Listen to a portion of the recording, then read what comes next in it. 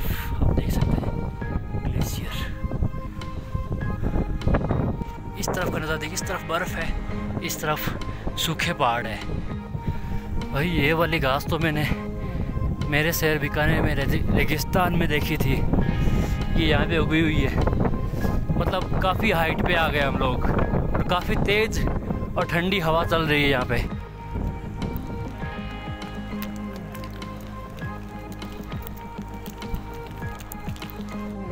ये देखो भाई साहब, ये स्लाइडिंग वाले पत्थर है।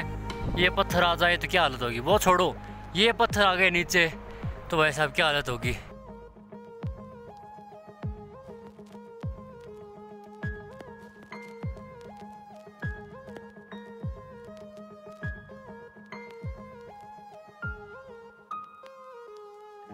दोस्तों, गंगोत्री ग्लेशियर के लिए, यानी गोमुख के लिए हमारी यात्रा शुरू हो चुकी है।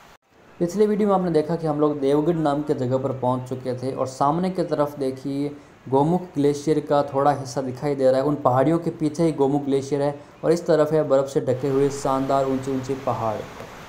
गोमुख ट्रैकिंग में शानदार नज़ारे आपको जगह जगह पर दिखाई देते रहेंगे।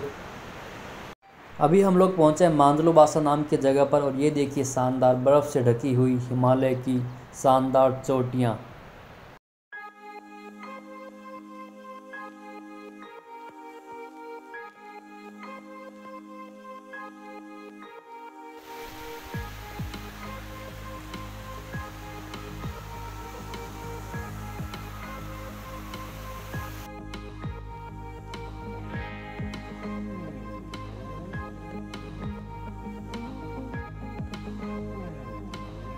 कहीं पर गोमुख ट्रैकिंग का रास्ता आपको सही मिलेगा, कहीं पर पत्थर जमाए हुए मिलेंगे, कहीं पर काफ़ी ख़राब रास्ता है, कहीं पर काफ़ी अच्छा रास्ता है।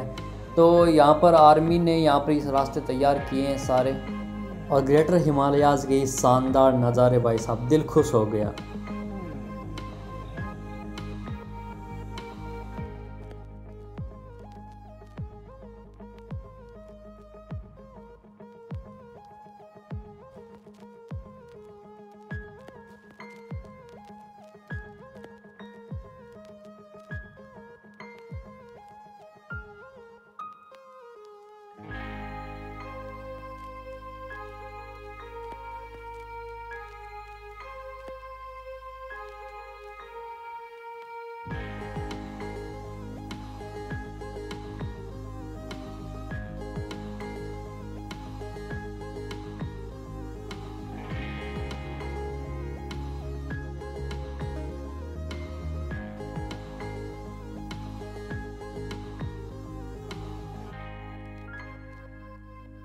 चीड़बासा नाम के जगह के पास में यहाँ पर एक छोटा सा होटल बना हुआ है। यहाँ पर आप परांठा वगैरह, स्नैक्स वगैरह ले सकते हैं।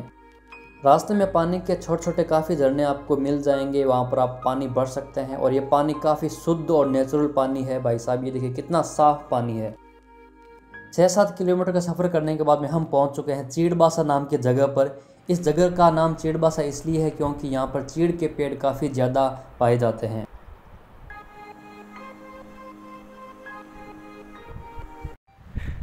सो दोस्तों, फ़िलहाल गंगोत्री ग्लेशियर दिखने लग गया है। इस पहाड़ के पीछे गंगोत्री ग्लेशियर है और लगभग तीन चार किलोमीटर की और यात्रा है। सो रेस्ट करते हुए धीरे धीरे आराम से चल रहे हैं, जहाँ पर थोड़ा जोश आ जाता है, वहाँ तेज़ चलते हैं, थोड़ा थक जाते हैं तो आराम करते हैं। दोस्तों, यहाँ पर तो देखिए, सूखी वनस्पति है, इस तरफ़ मिट्टी भी है। काफ़ी ऊंचाई पर आ गए जहाँ पर ऑक्सीजन की भी कमी होने लग जाती है इस तरफ़ आप देख सकते हैं ग्लेशियर इस तरफ़ ऐसा लग रहा है जैसे कि राजस्थान में आ गए। मिट्टी के दौरे लग रहे हैं। भाई, ये वाली घास तो मैंने मेरे शहर बीकानेर में रेगिस्तान में देखी थी।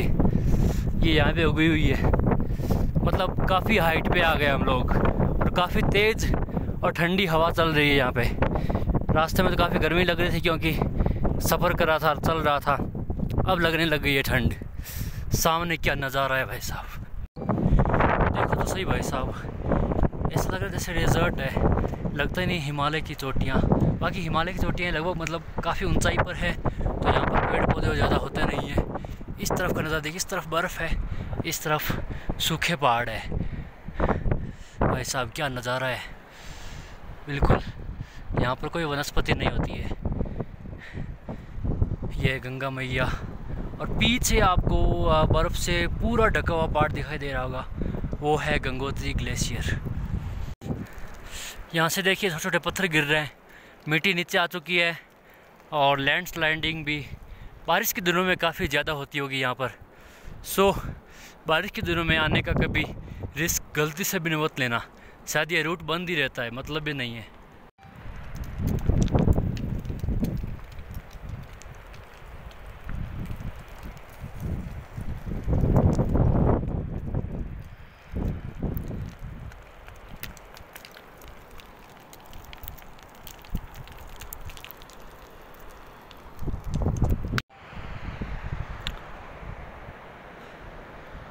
भैया सोच कर देखिए, रस्तों को कैसे बनाया होगा आर्मी वालों ने या जिन्होंने भी बनाया है, किस तरह से सेट किया होगा। इन रस्तों के बिना अगर ऐसा नहीं बनाते, सेट नहीं करते तो जा ही नहीं पाते। भाई साहब, सलाम है उनकी मेहनत को। तभी हम गोमुख के दर्शन कर पा रहे हैं। ये देखो भाई साहब, ये स्लाइडिंग वाले पत्थर है। ये पत्थर आ जाए तो क्या हालत होगी? वो छोड़ो, ये पत्थर आ गए नीचे तो भाई साहब क्या हालत होगी? हाँ ये है भाई साहब एडवेंचर सामने मौसम ख़राब हो रहा है ग्लेशियर के ऊपर। उसके साइड है ग्लेशियर तो।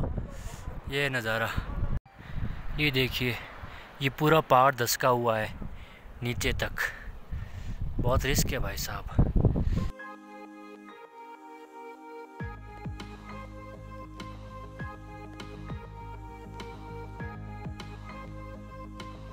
दोस्तों, ये है बोधबासा नाम की जगह पर, जहाँ पर मोस्टली कैंपिंग वाले स्टे करते हैं। यहाँ से गोमुख लगभग तीन चार किलोमीटर और है। वैसे यहाँ पर परमानेंटली कोई नहीं रहता है, यहाँ पर सर्दियों में लोग यहाँ से मूव कर जाते हैं। ये जो पीली चौंच वाला कोय जैसा पक्षी आप देख रहे हैं, इसे हाइट कहा जाता है। ये हाइट पर रहता है, इसलिए इसका नाम हाइट है। दोस्तों, अगर आप बोधबासा में रुकना चाहते हैं तो यहाँ पर एक आश्रम भी है, जहाँ पर पाँच सौ रुपये में रहना खाना हो जाता है। और यहाँ पर देखिए, सामान लोग खतरों पर लाद कर लेकर आते हैं। काफ़ी मेहनत करते हैं यहाँ पर। गैस की टंकियाँ वगैरह भी लोग कंधों पर लाद कर यहाँ तक लाते हैं। काफ़ी मेहनत करते हैं। तो ये पाँच सौ रुपये लेते हैं तो ये एक तरह से सेवा ही है इनकी तरफ़ से। दोस्तों, ये है भोजवासा जहाँ पर आप कैंपिंग टेंट लगा सकते हैं। यहाँ पर बास्केटबॉल वगैरह के लिए नेट भी लगाया हुआ है। यहाँ पर जो कैंप लगाने के लिए आते हैं, ये कैंपिंग टेंट है, यहाँ पर आप लगा सकते हैं। उस तरफ़ शौचालय की भी सुविधा है। और ये है गोमुख से पाँच किलोमीटर दूर। गोमुख अभी तक पाँच फ़िलहाल बोधबासा में थोड़ा सा मैंने भी स्टे लिया, थोड़ा स्नैक्स वगैरह खाया और आगे हम लोग यात्रा अपनी वापस कंटिन्यू करने वाले हैं। सो आप अगले वीडियो में देखेंगे कि हम गोमुख पहुँचते हैं या नहीं पहुँचते या क्या प्रॉब्लम आती है। सो फ़िलहाल इस वीडियो में इतना ही, मिलते हैं अगले वीडियो में। फ़िलहाल तो लग रहा है कि खो गया हूँ, क्योंकि आगे काफ़ी ज़्यादा लैंड स्लाइडिंग हो रखी है। पीछे देखिए, ऐसे बड़े बड़े पत्थर आगे खिसके हुए हैं। रास्ता भी बंद हो चुका है। Uh,